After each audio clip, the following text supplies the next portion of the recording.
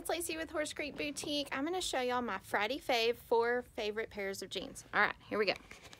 Okay, first off is this black um, Judy Blue flare jean, great wide um, bell bottom flare, long in length. Next is the KanCan Distressed Hem.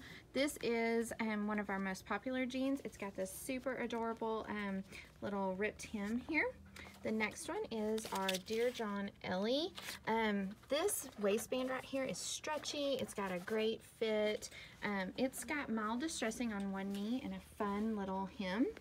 Okay, this is our brand new Christy Girlfriend KanCan jean.